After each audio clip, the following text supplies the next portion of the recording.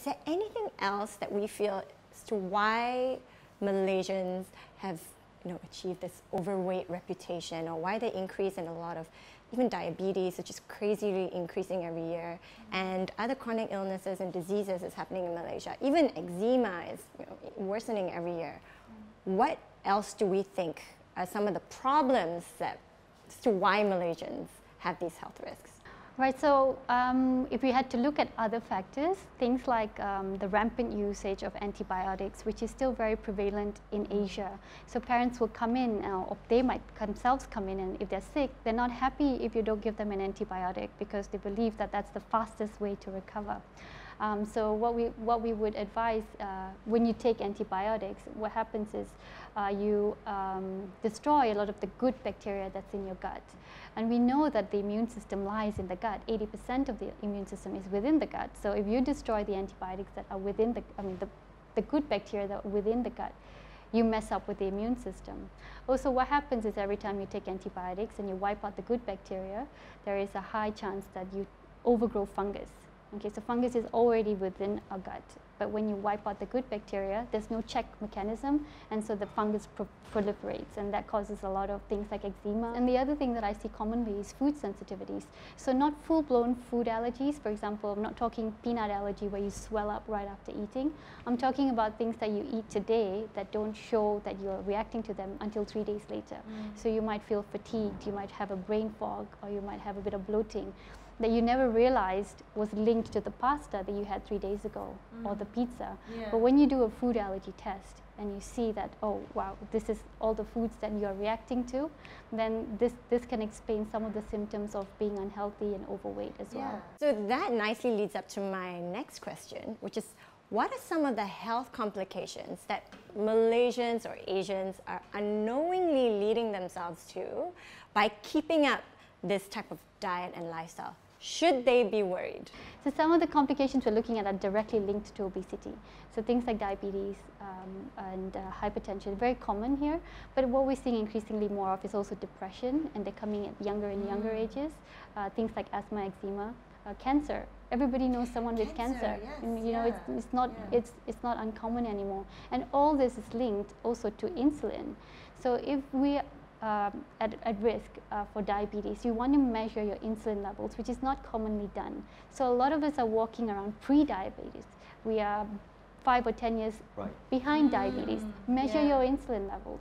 And if that is high, and don't follow the lab range, go three to five, that's the, the level that you want to be at, between three to five. And if you're above that, then you're pre-diabetic. And pre-diabetes is super easy to reverse. Okay, if you just follow the foods the way we've been speaking about, cutting out you know, the sugary products and having more fat and protein, you can reverse prediabetes. Mm. So if you reverse prediabetes, you automatically reverse the chances of you or reduce the chances of you having the other diseases that we spoke about. Yeah. No, I think that's good for a lot of people out there to know because whatever may seem mild mm. today, don't be deceived because it's just a build up to much worse health issues that you're basically opening up for you and your families without making a change, right? Yeah. yeah. So I think what's very important for a lot of the viewers is what's next? What can they do that's manageable and feasible for a lot of people? I think you know, a lot of the, the um, reasons why they're not making a change is they don't have time. They maybe some a big part of it is lacking knowledge, but affordability, picking healthier options is more expensive, and so on. So what could we share with them? I'd love to answer that. Yeah, great. Okay, well, the important thing to understand is that if you listen to the advice from Singularity University, mm. we are now adding, as of 2015, we're adding three months to the average human lifespan for every year you live between 2015 and 2030. Okay. Now, by the time we get to 2030, we'll be adding a year to every year you live because of advances in medical technology. Mm -hmm. So if you do the math, if you are 40 years old today, you will live to be close to 105. However, here's the crazy thing. while we can live, while many of us in our 40s are going to live into uh, a 100th birthday, it doesn't mean that we're going to live, get there healthy. Ah, okay. Some of us might get there barely alive, bedridden, mm. like uh, unable to move. So the aim should be longevity and preserving your health as long as you can, Right. right? Of course. And that's easier than a lot of people think. There's a four mod, a, a four phase model I look at. Okay, at. great. Yeah. Now, the first one is sleep. Most Mm-hmm. people underestimate the amount of sleep they need. Sleep Yeah. actually is one of the, the, the key parts of weight loss. Definitely, If you are not getting enough sleep, you end up putting on more weight. Right. Okay, now the second thing after sleep is food. You got to get educated on food, and um, you got to stu- you got to be very careful about the advertising you see on television. You, mu- I, I recommend Mark Hyman's book, Food: What the Heck Should We Eat? That's a great book.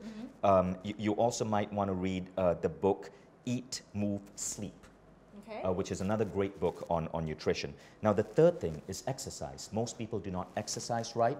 If you look at, at, at doctors like Doug McGuff, who wrote the book Body by Science, he says jogging is not exercise. Jogging creates a short term endurance lift, but over time, it can cause um, uh, injuries with your, with, with your bones, um, difficulty walking in older age. The best form of exercise with the highest correlation with longevity is strength training. Now, the fourth thing is understanding that you can hack your senses. So, a lot of people uh, accept the fact that they're going to lose their sense of hearing, they're going to lose their eyesight, they're going to see uh, brain deterioration as they get older. Not true. So, for example, I used to wear glasses 40% of the time.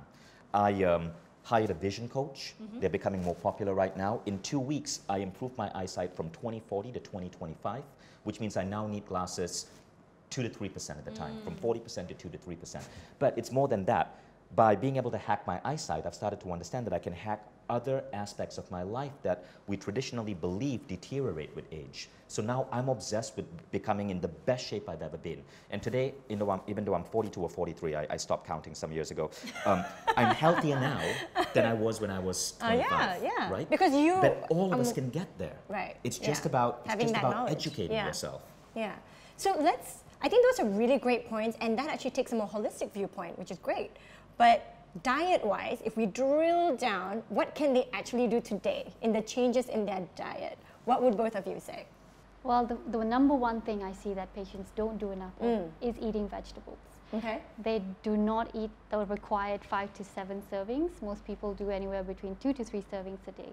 So you can start by just upping the vegetable intake, and that starts with veggies even at breakfast, because otherwise you're going to have dinner and you'll have all these veggies to eat just to meet the requirement. So wherever possible, just have a- whatever you're doing now, whatever that amount is, just double it, and mm-hmm. that's that's easy. You can do that. Oh, yeah, that's very easy. Yeah. So diet-wise, that would be it. Okay. Number two for diet is just cutting out all the sugary drinks that you mm-hmm. have with your meal. So no tea. Just have water?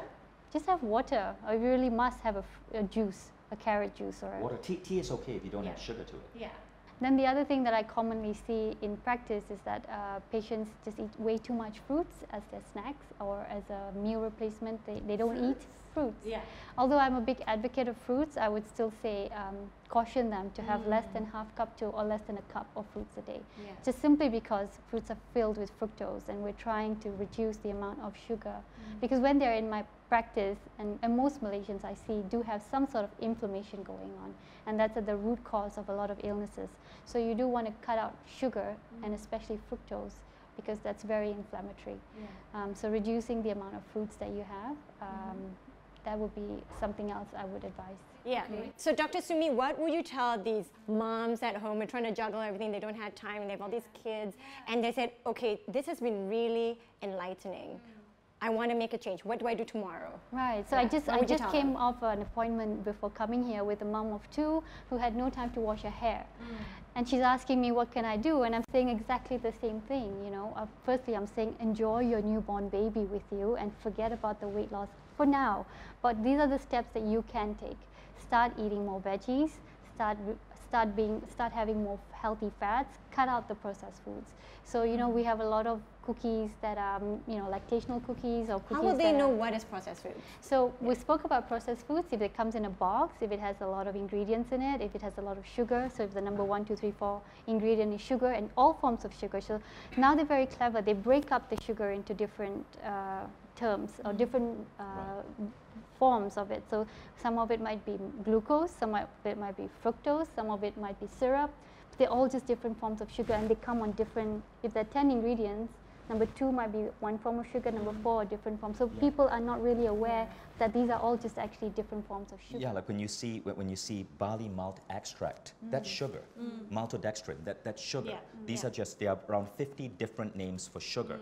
So I think you know we've covered so much today. I think it's been very educational and inspirational. I feel to a lot of um, our viewers on what changes they can make today. But do you have any closing thoughts that you want to share out? Well, I just think that being healthy isn't very difficult. If you have the right knowledge and if you invest and prioritize your time on the right things, you can do it. It's not as difficult as hopefully, hopefully, you know, we didn't come off as being too technical or too difficult mm-hmm. because it is very doable to change the way your health is uh, by implementing consistently small changes. If you don't have time to do anything in 90 days, then don't do it in 90 days. But make sure you do something small every single day that contributes to your long term health. Mm. And then it's very doable. Mm. Mm. I have many friends in Malaysia who are obsessed about their cars, right? They save up so that they can buy the mm. BMW or the Mercedes that they've always dreamed of. Now, why do they do this? Because they want to feel good in their 30 to 40 minute commute to work back and mm-hmm. forth every day. But then we forget that our vehicle, which is our body, is what we're in 24 hours a day. And people completely neglect this. The same friends of mine who are spending all of this money on their fancy cars, they don't take care of their They health. neglect their inner health. And I think this is the fundamental flaw in our society. We crave what marketing tells us to crave, the fancy car, right? But when you start to realize that this, you're blessed with a body, and that your body being in its peak state should be one of the key goals, the key things you pursue every day. The way you live life is different. Many people think, oh, it takes a lot of time to, to exercise, to, to, to eat healthy. That's rubbish. When you do that, you have so much more energy. You are, you are thinking so much clearer that you actually are able to go to work and deliver more and do more and create better results.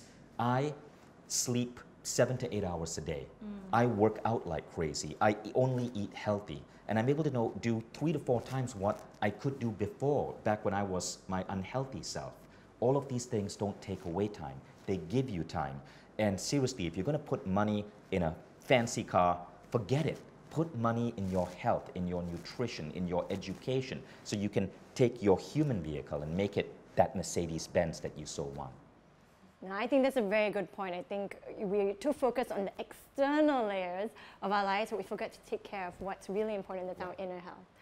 So thank you both, Vishen and Dr. Sumi, for having a very interesting chat. And I, I honestly feel that it will be eye-opening to a lot of our viewers out there.